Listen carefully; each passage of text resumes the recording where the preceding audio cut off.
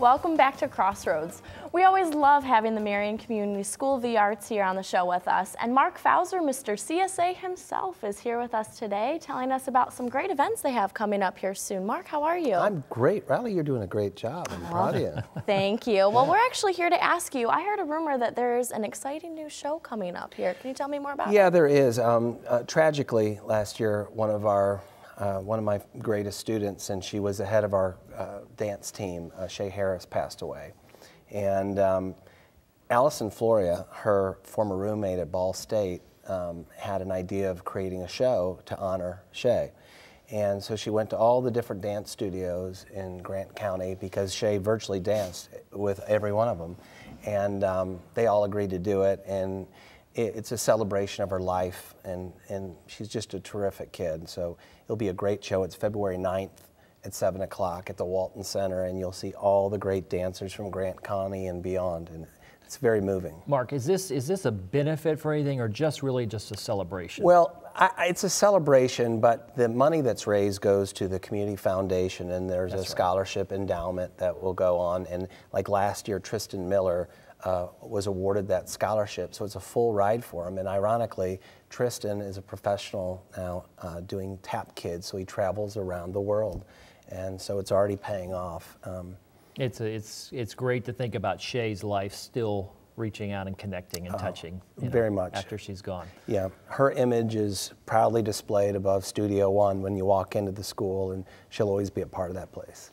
Well, I was just uh, kind of a quick transition here, but mm-hmm. you've got so much going on right now. I was trying to tell Riley about the crazy Go Arts Go Karts.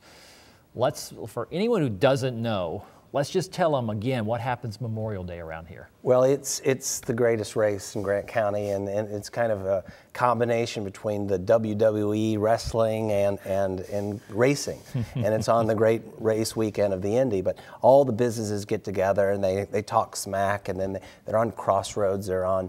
Uh, in, in the Chronicle Tribune, they're on the radio, and it's a great way to promote themselves. We do a lot of media, um, visual media, and, and Facebook, and and so forth. And it's just fun for businesses to get a taste of the arts and become the artists themselves. And it has become very competitive over the years, so it'll be a great event.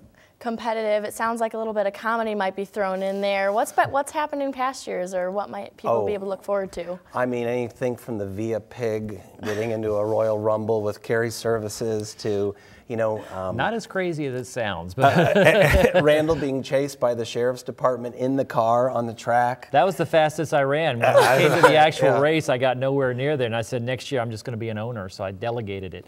But we have pole Day coming up, and a couple of us were there last year. You've got the local radio station and this has kind of turned into a fun thing with Media Row. Tell us what's coming up February 12th. Well, thanks to you guys and the Chronicle Tribune and, and, WIW, uh, and uh, WBAT, the, the, the, businesses that enter the race on the 9th, uh, forgive me, on the 12th of February, um, on pole day, they enter their, they pay their registration fee, they, they get free food from Moe's, there'll be a chamber, a Gas City and Grant County Chamber event, and then we will pull, poll, I mean, uh, pull the pole position out. Try saying that three times. yeah, exactly. Sorry about that. But um, anyway, we'll randomly do it. So it'll be like the NCAA brackets. And it's very exciting because you don't know who's going to be ranked first, second, third, fourth. But then we're going to do something new on this night. And that is if you're competitive, you can try to draft up and you can auction that and work it out so that you might go, okay, WIW is number one. Never. It could not, be. not on the racetrack. And somebody could go, look, we'll give you $1,000 to trade positions, and you could get $500, and the Community School of the Arts gets 500 and everybody knows it's for a fundraiser, and it really helps support our kids. Those scholarships really, there are a lot of people in need, and I love that they have the opportunity, thanks to the community, to get out there and express their passion. That's so great. Doing mm-hmm. good in the community and making it fun at the same time. Absolutely. and embarrassing Randall, apparently, That's which is so always good. Yeah, yeah. well, that night I get to be a reporter, and we did have a lot of fun, not at our own expense, although there's always an opportunity for that. But we, we had enough fun last year. This year, I think you're going to see some highlights of that actually on Crossroads this year. Oh, so terrific. we're going to we're going to condense that down. You can see the full interviews of everybody that goes through the line. They'll be online like right. they were last year, but yep. we're going to have we're going to have some condensed highlights here. Well, that's wonderful. I really am grateful for what you guys do, and I'm excited for you to see all the great things that happen. And I can only say to the folks at home, I am blessed to get to see all the changes in the kids' lives daily, and uh, it's so important to know what a difference they make. And you can now visually see how the, the school has transformed the downtown. Well, really we say nice. this every time we go down there, but if you just go to any CSA thing, any afternoon when, when classes are in session, you see what this is about.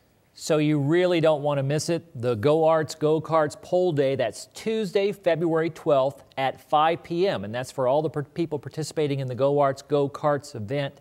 And then the Shey Harris Benefit Show we were talking about is Saturday, February 9th at 7 p.m.